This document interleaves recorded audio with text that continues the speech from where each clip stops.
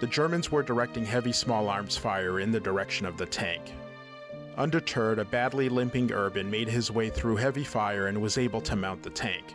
He then took up position as the gunner on the tank and was able to place heavy fire on the Germans. His actions galvanized his men forward, where they would destroy the enemy position, aiding in the Allied advance further away from the Normandy coast.